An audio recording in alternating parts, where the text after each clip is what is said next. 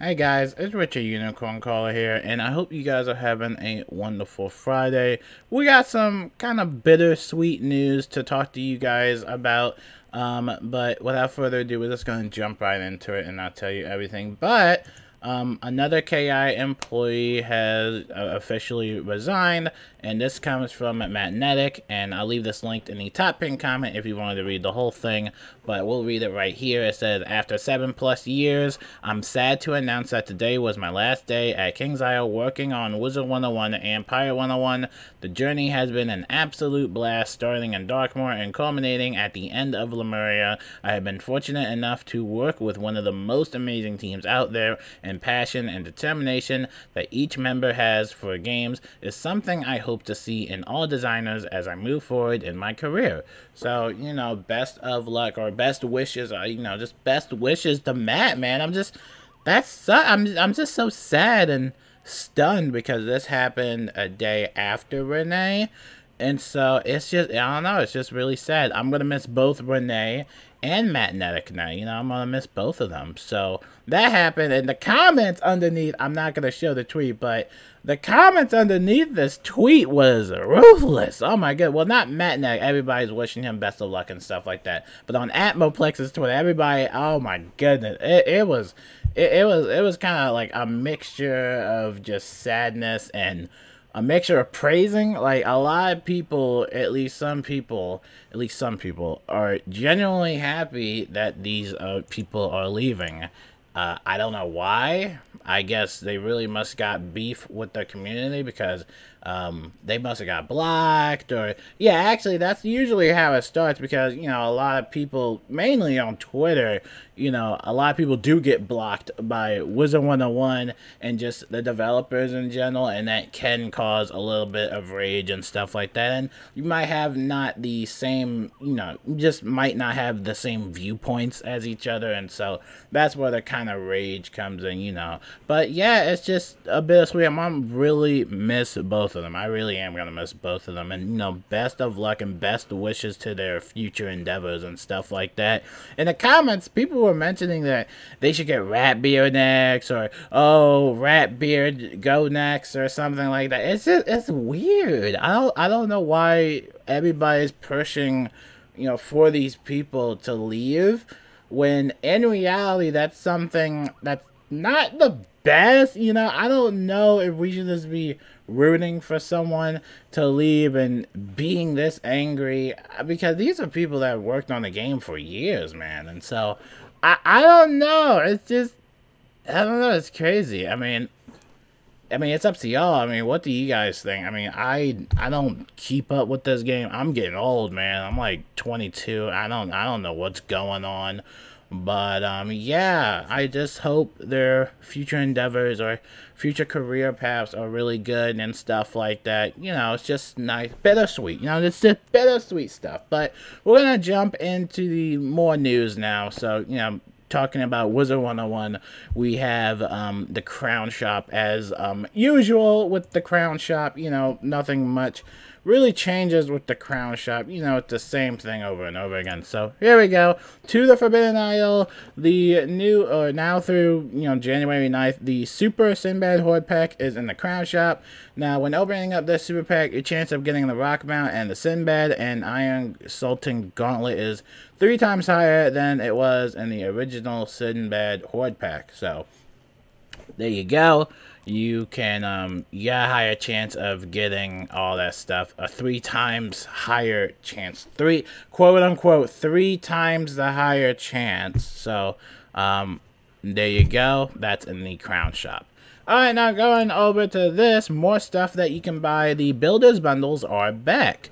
Monday, January 17th, you can get the Arcane Builders Bundle and the Aztecan Builders Bundle in the online cart. And so this shows you all the details about the um, bundle. So if you wanted to buy these bundles, they are back on the uh, website. And so feel free to purchase them if you want. And then going into the monthly calendar, we actually got some updates to it. So they recently updated the monthly calendar with all the events, which I'm pretty sure not many people really do these events, but we're still going to go over it. So January 4th through the 10th, which is basically this week, we have Beastmoon Hunt on Aquila Mines, Aquila Mines, which personally I never liked this particular map. Aquila Mines just seemed a little like curvy and really janky. You know, I've personally never liked it, but um, it's there. I've been trying to play it, trying to get back into it. It's there if you wanted to do that. And then play anytime, available through um, Friday or Tuesday through Friday, 4 p.m. Sunday, 8 p.m., and all, all, that stuff for events. You know, some of the developers were usually um, play the uh, Beastmoon Hunt events and stuff like that. By the way, this is the PvP one. So whenever it says like Beastman Hunt, this is the PvP one. So you're versing other players. So there you go. And then January 11th through the 17th, we got the Myth Decathlon. Have fun with that.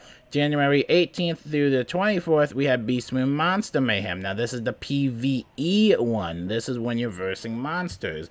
Now, Beast Moon in general can become toxic, especially if you're trying to communicate to your teammates or just some people genuinely do not know how to play the game mode in general. And so it can become toxic, but if you work together, um, you can manage to actually go through all three of the stages or waves. You just have to really work together. Like, yeah, work together. Like, you actually have to, like, communicate. So, um, there you go. I mean, I've done it before. It can be a little bit tricky, but again, communication is key. Then through January 25th through the 31st, we got the Pet Promenade. Now this one, if you're trying to rack up points, this one is a really good one because all you have to do is basically just level up your pets or feed them a pet snack and stuff like that. This is basically free points alongside with that one spiral scene we had. But for the most part, it looks like most of these events are going to be stuff that you actually have to, like, play. Which I'm not the biggest fan of, but I know that Pet Promenade is going to be one of my favorites. So, I can't wait for that. I can't wait to finish the Scroll of Fortune. And I am super excited just to um, do all that stuff. But that pretty much wraps it up for everything.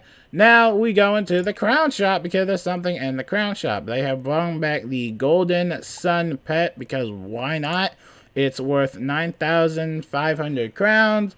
So if you wanted to spend crowns on this sun pet, they bring it back. I don't know how, when, or when it's going to expire, but um, there you go. I mean, 9,500 crowns is a lot for a pet, so I mean, it's up to you. I mean, if you got the crowns and you just want to buy it, hey, by all means, do that. But, um, yeah, there you go. there you go. So, you know, bittersweet, uh, you know, bittersweet news and stuff like that. But yeah, concerning the developers are leaving or, you know, resigning or stuff like that, I think it's too early to make any types of, like, assumptions or anything like that.